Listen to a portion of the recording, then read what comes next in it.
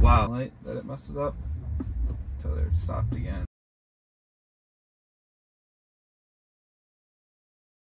Alright guys, welcome back to another video of FSD. We are on version 12.5.1.1. We do have a merge coming up. This will be interesting because the car's not really giving us any space behind us. And we made it. Nice. Uh, we are on hardware 4 um, in a Model Y 2024. Um, we are currently on a. Feet, turn left onto Potter's Road. Thank you. We are currently on assertive mode, and uh, yeah, just trying out the new build of Now turn left onto Potter's 12.5.1.1. I'm not expecting to see any major improvements here. Um, I think some people were saying that it could be the front latch, but I'm pretty sure it's the actual Version that has been upgraded. Yeah, so I don't think this would include an additional like car update. I think that would just change this number here. So I think this is something to do with FSD in some way. Um, maybe those lower dots are for like not changing the nets, but changing how they communicate with the car or something weird. I don't know. So it'll be interesting to see if there's any actual improvements here. Um, we're doing an unnecessary lane change, which is interesting for version 12.5.1. Um, but we do kind of do that a lot here.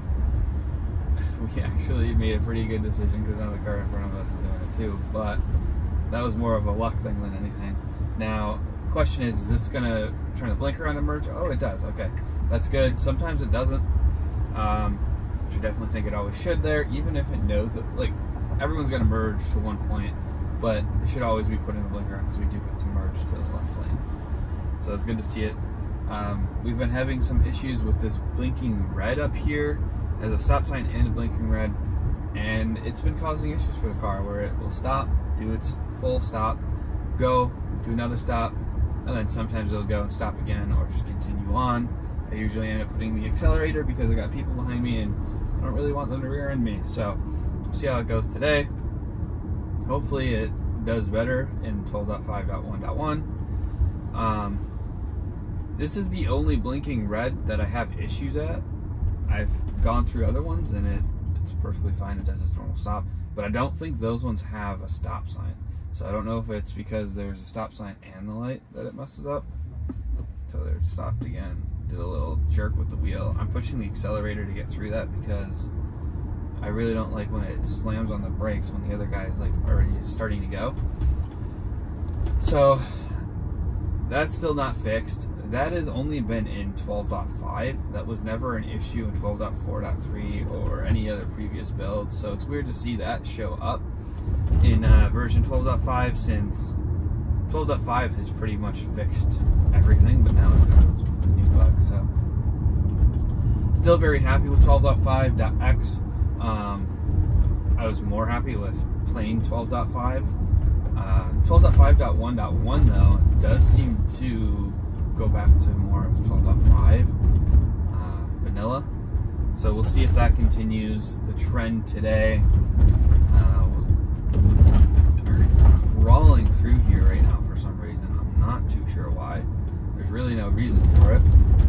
Really would like to make this light here. Um, that's something that has changed in version 12 that I really do like is when we're approaching a yellow, it just always seems to know what to do.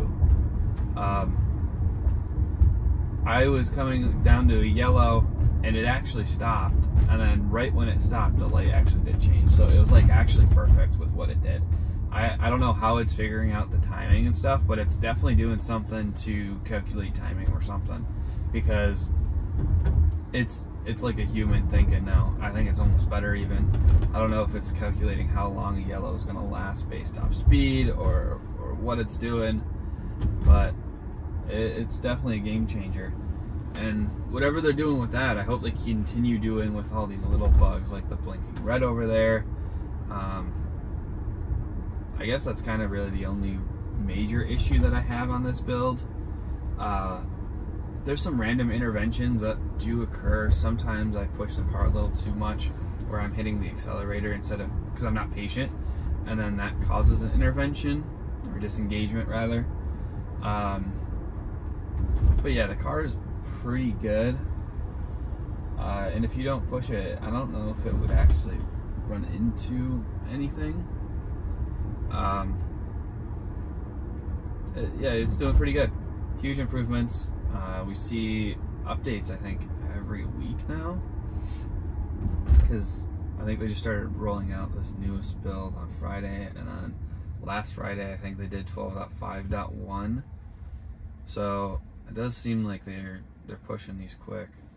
There's a lot of good things coming in this build still. Um, and I think Summon is coming this month. I don't know if that's part of this build. Elon said it's different code. Not sure what that really means. I'm really excited for that though. I haven't been able to try Summon in any sense on this car. And uh, back in the day, like 2016 era or somewhere around there, where I was dreaming of having a Tesla, I thought that was one of the coolest features were to be able to summon your car, even just move it forward and backwards in the old days. I thought was pretty cool. So I'm really excited for any kind of summon feature to come out for this car. We are cameras only on this car, but I think it has enough sensors or enough cameras to sense the environment. But I'll get back to you guys on the green. Right now we got a green. Moving on forward here. Traffic's pretty low today. Nothing crazy going on. No buses or anything, so it's been pretty pretty simple ride. FSD's been doing great. Haven't had to take over, no disengagements today so far. Just the one intervention at the uh, blinking red over there. So hopefully that gets resolved and then I don't have to hold on to the wheel or disengage. Okay, so this is another issue where it goes in the middle here. But I'm gonna take over and put it where it needs to go. Yeah, I have taken over, thanks. Uh, center's in lane, but should be to the left lane to go straight. Hopefully that gets back to the team and they can fix that because that is a continue thing. It actually was fixed in 12.4.3 and partially fixed. It kind of felt like it was going away in 12.5. Um, and it still just keeps doing it. So there's another place where there's the uh, no paint divider and it does handle that section pretty well. So I'm sure it can figure it out. It just needs some more time, I guess. Sometimes it will also get behind this car and that car if they're like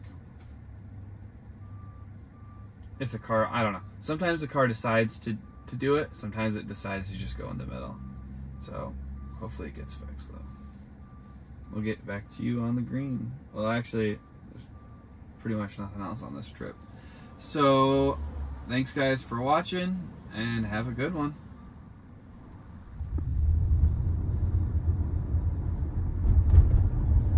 Wow, it handled that person walking actually pretty good.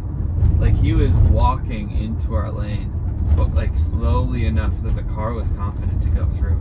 Also, this is an issue that has happened in 12.5 where it takes longer to get over. Previous builds, it was getting over like in almost right at the bike lane, which was nice. All right, I think that's it now, guys. Um, like, dislike if you don't like. Uh, subscribe if you want more. Thanks, guys, for watching. Have a good one.